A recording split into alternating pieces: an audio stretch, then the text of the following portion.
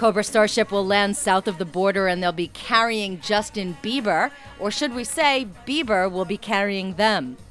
Cobra Starship will be supporting their new album Night Shades, spurred on by the new single You Make Me Feel.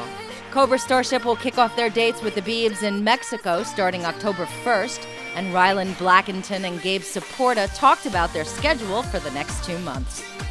We are going to be on The Tonight Show with Jay Leno. Um, He's on the gonna be there 13th. too when we're there. He's yeah, we're it's our show. He's going to be the guest. That's cool. Um, and then we go on a South American tour in October with Justin Bieber. I don't know if I think it's Bieber. Bieber, Mm-hmm. Justin Bieber, um, which is cool because because this will be the first time we've really gone to South America properly. We were there really briefly last fall. And we're gonna be probably be playing the biggest shows we've ever played in our lives. yeah, 50 50k, like sports arenas every day. It's gonna be amazing. Football stadiums. Yeah, football. Estadio de fútbol. Cobra Starship's collaboration with Sabi, You Make Me Feel, is currently charting on the Billboard charts, but their new album also sports a unique collaboration with up and coming rapper Mac Miller.